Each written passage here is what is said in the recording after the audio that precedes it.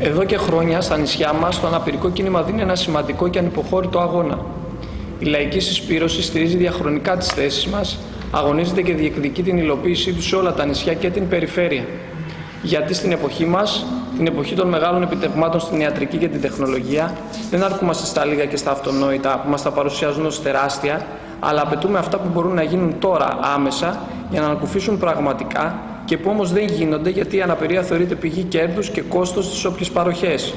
Η μεγάλη μας διαφορά με τις άλλες πολιτικές δυνάμεις είναι ότι εμείς πιστεύουμε ότι η αναπηρία και η υγεία δεν μπορεί να είναι εμπορεύματα που ακριβοπληρώνουμε με πολλούς τρόπους.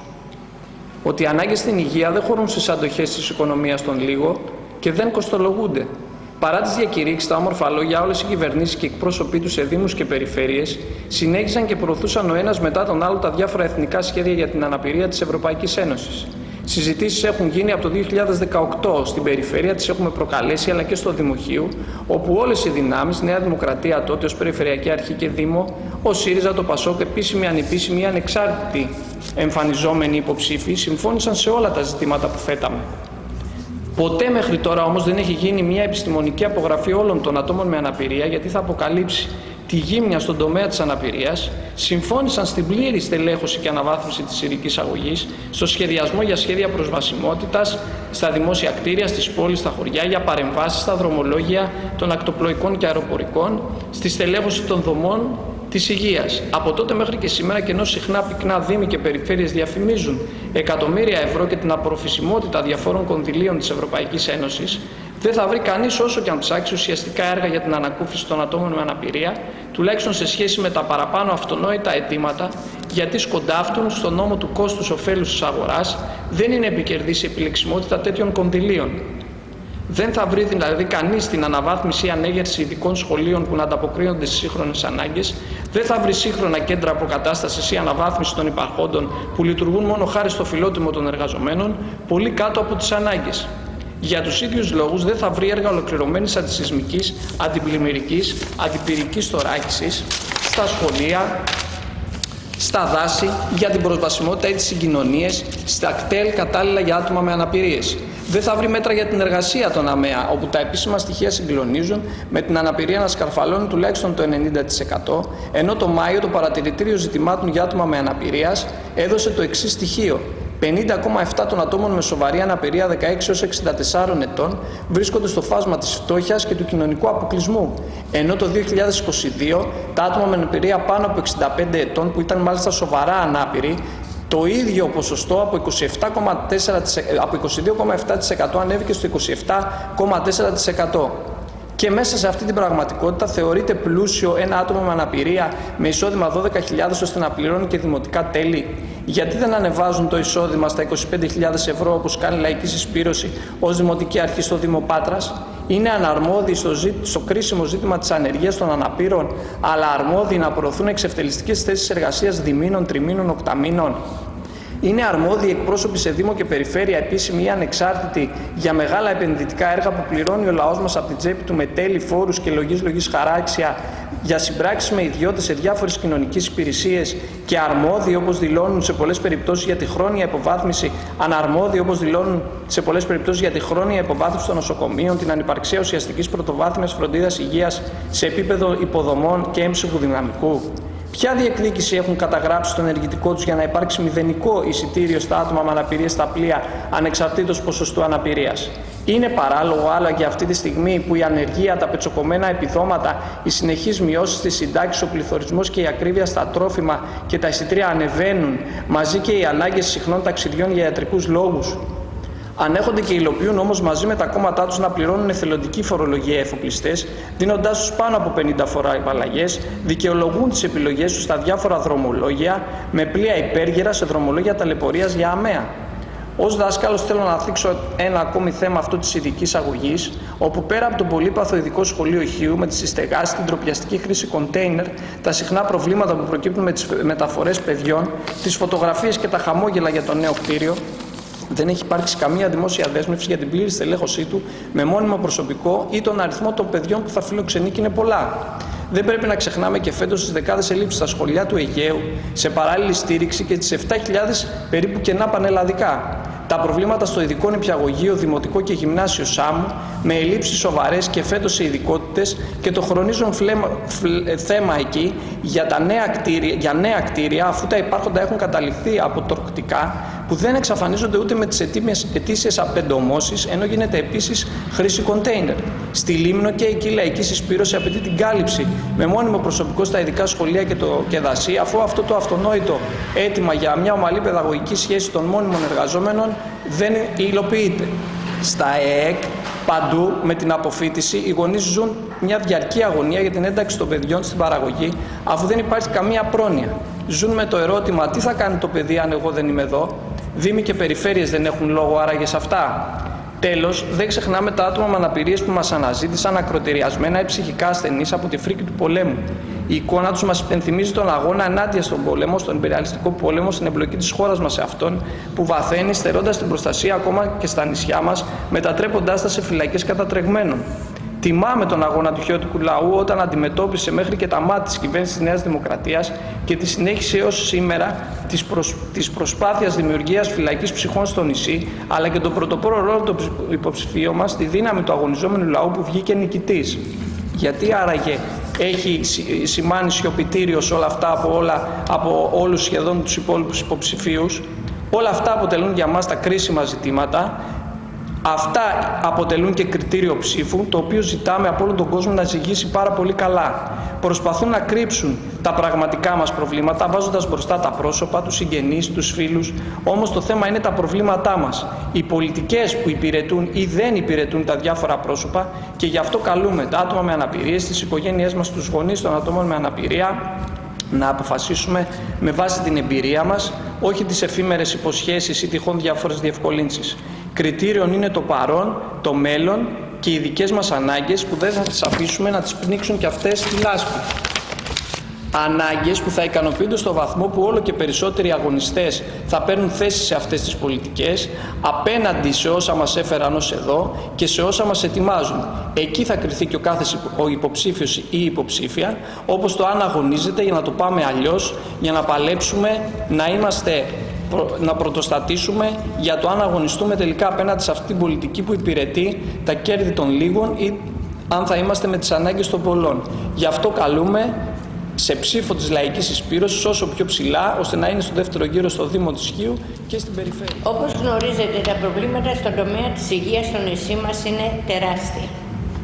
Εμείς ως λαϊκής εισπύρωση αποκαλύπτουμε και ασκούμε κριτική στην κυβερνητική πολιτική και αγωνιζόμαστε για την αναβάθμιση όλων των δομών υγείας. Άσχετα με την κατανομή αρμοδιοτήτων στο κρατικό μηχανισμό, κάθε δημοτική και περιφερειακή αρχή πρέπει να νοιάζεται για την υγεία των δημοτών και να δρά δυναμικά για επίλυση των όποιων προβλημάτων. Στο νησί μας λοιπόν έχουμε ένα νοσοκομείο με μεγάλες ελλείψεις σε προσωπικό και σε εξοπλισμό. Έτσι, για παράδειγμα, Υπάρχει ένας μαγνητικός τομογράφος ο οποίος είναι χαλασμένος από τη μια, ενώ όταν επιδιορθώνεται δεν υπάρχει προσωπικό να το λειτουργήσει. Ο μασογράφος είναι χαλασμένος. Ακτινογραφίες δεν γίνονται, αλλά ούτε και υπέροχοι. Το αποτέλεσμα είναι ο κόσμος να πρέπει να πηγαίνει σε ιδιωτικά κέντρα στα οποία και πρέπει να πληρώνει συμμετοχή, αλλά και να περιμένει καιρό για διαθέσιμο ραντεβού. Τα κέντρα αυτά ακόμη δεν έχουν υποδομές για άτομα με αναπηρία. Κάποια δεν διαθέτουν ούτε καν κατάλληλη τουαλέτα. Το θέμα της προσβασιμότητας δυστυχώς δεν είναι λυμένο ούτε στο νοσοκομείο. Ένας άνθρωπος με αναπηρικό αμαξίδιο, για παράδειγμα, δεν μπορεί να κινηθεί αυτόνομα και να έχει πρόσβαση σε όλες τις κλινικές και, την και υπηρεσίες του νοσοκομείου. Εκτός αυτού, στο πιο σημαντικό κομμάτι που έχει να κάνει με την εξέταση, δεν υπάρχουν για παράδειγμα ρυθμιζόμενες καρέκλες και φορεία καθύψος για να εξυπηρετούνται άνθρωποι με αναπηρία ή μειωμένη κινητικότητα σε μαγνητικό, αξονικό τομογράφο και σε διάφορα εξεταστήρια. Όσον αφορά το προσωπικό, υπάρχουν ελλείψεις σε νοσηλευτές και ειδικότητες γιατρών όπως παιδοψυχίατρος, ακτινολόγος, οδοντίατρος αμαία ή υπάρχει ένα μόνο, ένας μόνο γιατρός σε μια ειδικότητα και έτσι δεν φτάνει να καλύψει τις ανάγκες του νησιού. όπως παραδείγματος χάρη ο νευρολόγος. Είναι γνωστή και η κατάσταση με το ΕΚΑΒ, με το ένα ασθενοφόρο που φυσικά δεν προλαβαίνει να ανταπεξέλθει, έχοντας τρενήσει ακόμη και νεκρούς. Τώρα τα κέντρα υγείας του νησιού μας, Πυργή και Βολισσός, είναι και αυτά υποστελεχωμένα και υποχρηματοδοτούμενα, ενώ θα μπορούσαν να καλύπτουν τεράστιες ανάγκες του νησιού, να διευκολύνουν τους κατοίκους των χωριών και να αποσυφορούν το νοσοκομείο. Την ίδια στιγμή διάφορες ανάγκες σε υλικοτεχνική υποδομή και αναλώσιμα καλύπτονται συχνά από δωρεές της τοπικής κοινωνίας. Στο κέντρο υγείας Πυργίου, για παράδειγμα, υπάρχει από την αρχή της δημιουργίας του ακτινολογικό, που όμως δεν λειτουργεί γιατί δεν υπάρχει και δεν υπήρχε ποτέ ακτινολόγος. Υπάρχει εξοπλισμός οδοντιατρίου, αλλά είναι και αυτός παροπλισμένος γιατί δεν υπήρχε και δεν υπάρχει οδοντίατρος. Ασθενοφόρο δεν υπάρχει 24 ώρες την εβδομάδα γιατί δεν υπάρχει προσωπικό. Έχει υπάρξει περίπτωση που ο γιατρός έχει έρθει με το γιο ταχύ αυτοκίνητό τους στο χωριό για να δώσει τις πρώτες βοήθειες σε επίγον περιστατικό ενώ το ασθενοφόρο όπως ήταν αναμενόμενο λόγω της απόστασης έφτασε από τη χώρα σε μισή ώρα. Μετά. Να πω εδώ πως το προσωπικό του νοσοκομείου και κέντρων υγείας καταβάλει υπεράνθρωπες προσπάθειες. Δεν αρκεί όμως αυτό, δυστυχώς. Η ζωή των κατοίκων της Χίου βρίσκεται κάθε μέρα σε κίνδυνο και οι άνθρωποι είναι υποχρεωμένοι να κάνουν υπομονή και να, για να κλείσουν ένα ραντεβού στο νοσοκομείο ή και να περιμένουν και να πληρώνουν για ένα ραντεβού σε ένα ιδιωτικό κέντρο ή στη χειρότερη περίπτωση να δώσουν ένα ασκασμό λεφτά και να ταλαιπωρηθούν σωματικά και ψυχολογικά για να πάνε στην Αθήνα ή σε κάποια άλλη μεγάλη πόλη. Αυτές είναι οι επιλογές. Ή πληρώνεις ή περιμένεις με κίνδυνο επιδίνωσης ακόμα και απειλής της ίδιας σου της ζωής.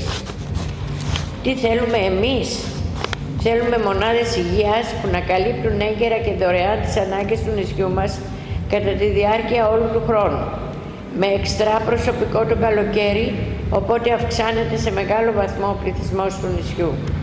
Θέλουμε ένα νοσοκομείο στελεχωμένο με όλο το απαραίτητο προσωπικό και σύγχρονο εξοπλισμό, ώστε να αντιμετωπίζονται όλα τα αναγκαία περιστατικά. Θέλουμε ανάπτυξη και αναβάθμιση της πρωτοβάθμιας φροντίδας υγείας με πλήρη χρηματοδότηση από το κράτος. Θέλουμε πρόληψη, θεραπεία και αποκατάσταση όλο το 24ωρο, 365 μέρες το χρόνο. Θέλουμε ανάπτυξη με βάση τις ανάγκες του πληθυσμού για βρέφη, παιδιά, ηλικιωμένους, άτομα με αναπηρία, χρονίως πάσχοντες. Θέλουμε μονάδες πρωτοβάθμιας φροντίδας υγείας διασυνδεδεμένες με την οικογένεια, τα σχολεία, τα κέντρα αποκατάστασης. Σας καλούμε να κάνετε λοιπόν μαζί μας το αποφασιστικό βήμα μπροστά, στηρίζοντας τη λαϊκή συσπήρωση για να βαδίσουμε όλοι μαζί το δρόμο της ελπίδας και της πάλης για τη σύγχρονη αγώνα. Ναι, ευχαριστώ όσα μέσα αποδεχτήκαν την πρόσκλησή μας και βρίσκονται εδώ σήμερα. Η Διεθνή Σύμβαση για τα Δικαιώματα των Ατόμων με Αναπηρία που ψηφίστηκε και τέθηκε σε ισχύ από τα Ηνωμένα Έθνη το 2008 ουσιαστικά αποτελεί κενό γράμμα. Παρά τις διακηρύξεις τη δεσμευτικότητά της για τα κράτη-μέλη της Ευρωπαϊκής Ένωσης στην ένταξη των νόμων στις εθνικές νομοθεσίες, παρότι πράγματι θίγονται δικαιώματα εξαιρετικής σημασίας, όπως το δικαίωμα στην υγεία, στην εργασία, στην ίση αναγνώριση έναντι του νόμου, Φαίνεται στην πράξη ότι πρόκειται για απλές διακηρύξεις που ρίχνουν στάχτη στα μάτια των ΑΜΕΑ και των οικογενειών τους, σκοτάβοντας τους νόμους της αγοράς, των δημοσιονομικών αντοχών και της οικονομίας των ολίγων. Ανάμεσα σε όλα αυτά κατοχυρώνεται, υποτίθεται και το δικαίωμα στην προβασιμότητα. Το οποίο όμως έχει την ίδια μοίρα αν και δεν έχει λάβει όλη την προσοχή που του αξίζει. Εν τούτης αποτελεί την πρωταρχική προϋπόθεση ώστε τα άτομα με αναπηρία να ζουν ανεξάρτητα και να συμμετέχουν πλήρως και ισότιμα στην κοινωνία. Χωρίς πρόσβαση στο φυσικό περιβάλλον, στα μέσα μεταφοράς, στην πληροφορία και την επικοινωνία, καθώς και σε κάθε άλλη υπηρεσία ή δομή για το κοινό, τα άτομα με αναπηρία δεν απολαμβάνουν ίσων ευκαιριών ώστε να μπορούν να είναι ισότιμα μέλη της κοινωνίας. Είναι κρίσιμος παράγοντας και το άτομα με αναπηρία συχνά στερούνται το δικαίωμά τους στην εργασία καθώς το φυσικό περιβάλλον αυτής, τα συστήματα συγκοινωνίας αλλά και οι δομές επικοινωνίας και πληροφορίας, οι κατάλληλα διαμορφωμένοι χώροι δουλειάς παραμένουν απροσπέλαστα από αυτά. Το ίδιο ισχύει και στο δικαίωμα στην υγεία και την εκπαίδευση, μιας και πολλές νοσοκομιακές δομές αλλά και πανεπιστημιακά ιδρύματα βρίσκονται με δραματικό τρόπο πίσω στις υποδομές. Πολλές φορές και σε κτίρια χωρίς κανένα αντισυσμικό κανονισμό λόγω παλαιότητας. Η προσβασιμότητα όμως, εκτός από δικαίωμα, αποτελεί ταυτόχρονα υποχρέωση όλων για την ουσιαστική πραγμάτωσή της. Μέσα από τον σχεδιασμό νέων αγαθών, υπηρεσιών, εγκαταστάσεων και τεχνολογιών να εξασφαλίζεται η πλήρης ισότιμη και απεριόριστη πρόσβαση των ατόμων με αναπηρία σε κάθε έμφαση της κοινωνικής ζωής λαμβάνοντας υπόψη της εγενούς αξιοπρέπειάς τους συμπεριλαμβάνοντας ταυτόχρονα την, εξέλιξη, την εξάλληψη κάθε διάκρισης της βάρος τους. Είναι γνωστό ότι υπάρχει νομοθετικό πλαίσιο βάσει του οποίου επιβάλλεται να σχεδιαστούν και να εφαρμοστούν πολιτικές ισότητας, αντιμετώπισης και προβασιμότητας των ατόμων με αναπηρία σε ιδιωτικές και δημόσιες δομές, ώστε αυτά να αισθάνονται ανεξάρτητα και να μπορούν να κυκλοφορούν ελεύθερα. Εκείνο που δεν είναι γνωστό και αμφιβάλλω αν υπάρχει, είναι η πολιτική βούληση για την υλοποίηση αυτών των πολιτικών ακόμα και αν σε τοπικό επίπεδο ο ανταγωνισμός δύο εταιριών ε, στέρισε στα ΑΜΕΑ για πέντε χρόνια την ύπαρξη αυτόνομης πρόσβασης στην θάλασσα. Είναι απαράδεκτο στη συνέχεια να ξοδεύονται χιλιάδες ευρώ και η συντήρηση να αφήνεται στους Δήμους με αποτέλεσμα να παρουσιάζονται φθορές και αστοχίες στην παρέμβαση που γίνεται. Επίσης, θεωρείται ανεπίτρεπτο να γίνονται επισκευαστικά έργα σε αθλητικούς χώρους και χώρους εξυπηρέτησης κοινού χωρίς να υπάρχει σχεδιασμός τουαλέτας για αμαία.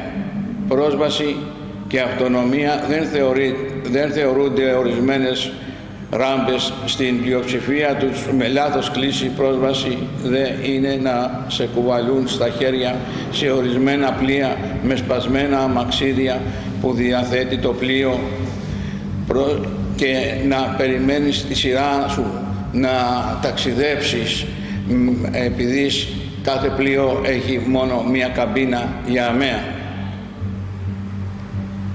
Δεν συμβιβαζόμαστε με τη λογική δεν μπορώ να παρεύω εκτεταμένα σε μνημεία, σχολεία, χωριά και πόλεις ώστε να, να διαμορφώσω μια άλλη καθημερινότητα.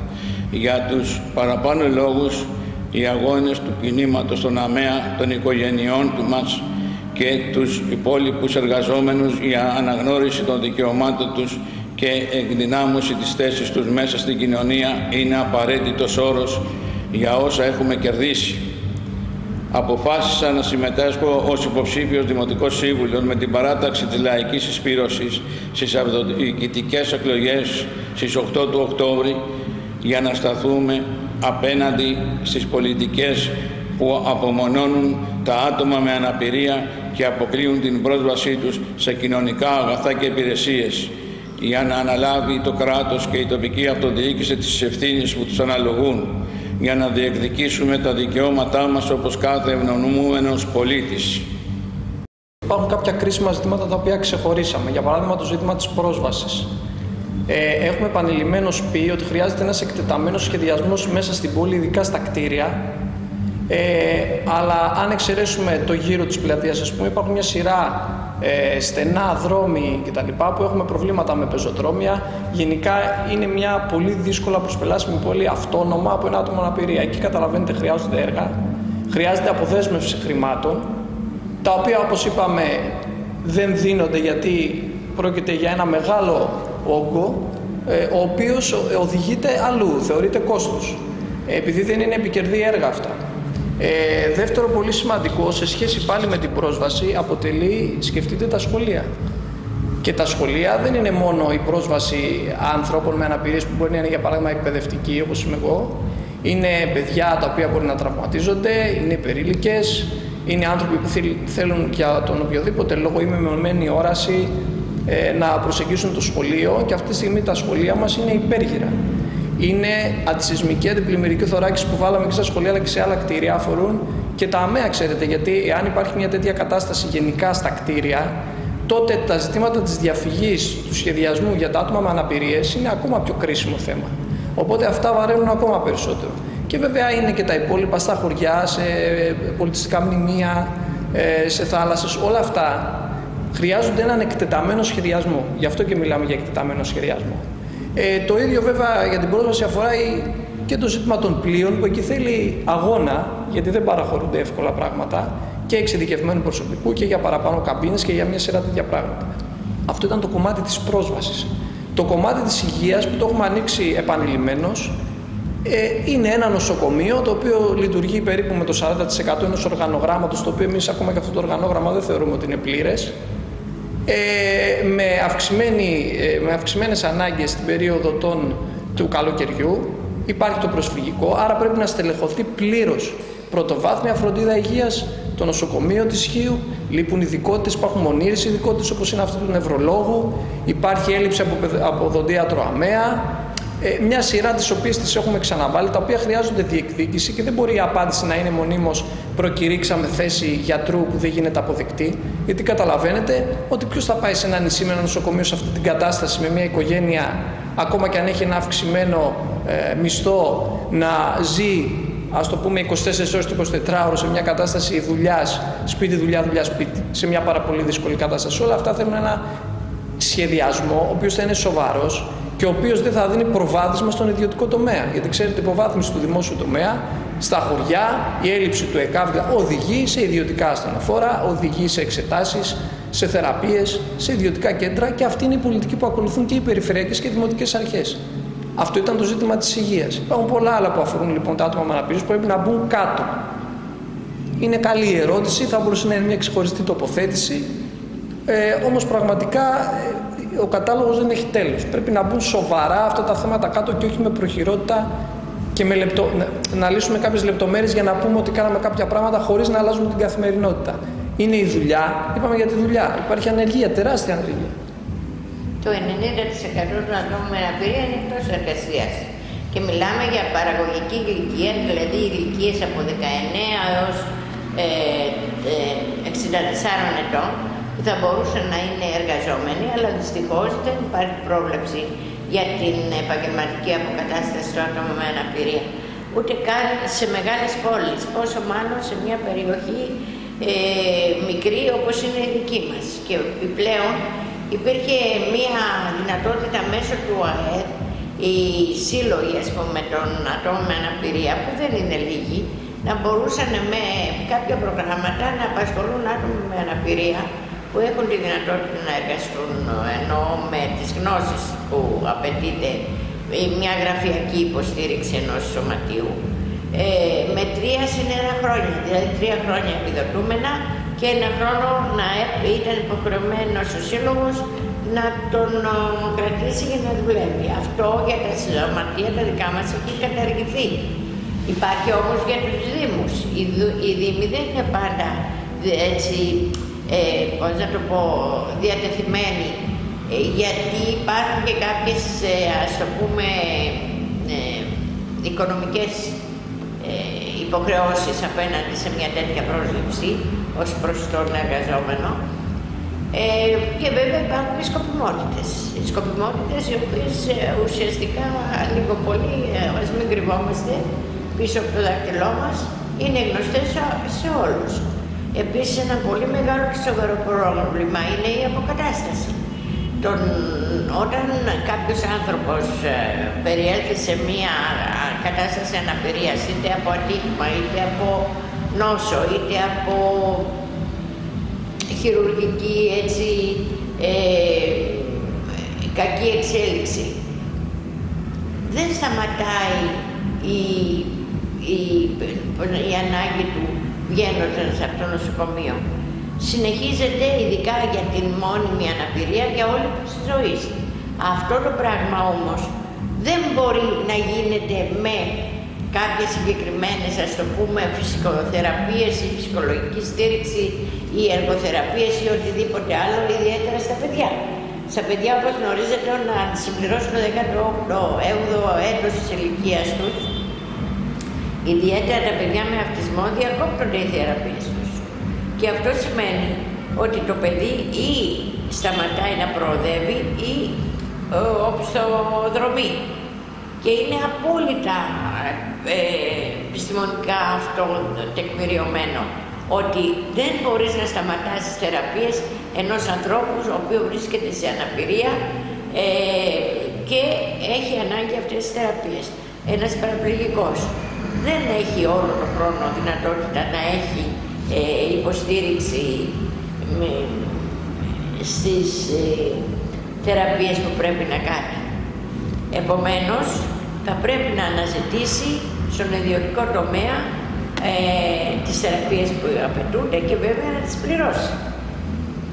Έχουμε ένα κέντρο, το ΚΕΦΙΑ, που είναι κέντρο φυσικής ιατρικής και αποκατάστασης. Αυτό σημαίνει το ΚΕΦΙΑ και ε, ήρθε να, σαν συνέχεια του ΚΕΚΙΚΑΜΕΑ που όπως γνωρίζετε είναι κέντρο κοινωνικής απο, υποστήριξης και αποκατάστασης των ατόμων με αναπηρία. Αυτό το κέντρο δημιουργήθηκε το 2000, λειτουργήσε το 2002 και βρίσκεται στο Λατόμι. Μέχρι σήμερα δεν έχει λειτουργήσει ποτέ για το, σκοπό, για το σκοπό για τον οποίο έχει ιδρυθεί. Έχουν μπει μέσα τρεις δομές και, και έχουν καταλάβει τα τρία τέταρτα του κτηρίου. Όλοι αυτοί οι λόγοι λοιπόν μας οδηγούν στο να είμαστε ε, συνοδοιπόροι με την λαϊκή συσπήρωση την οποία πρέπει να ανεβάσουμε ε, ψηλά ώστε να μπορέσουμε να εφοληθούμε όλοι σαν πολίτες ανεξάρτητα σε όποια κατηγορία και αν ανήκουμε.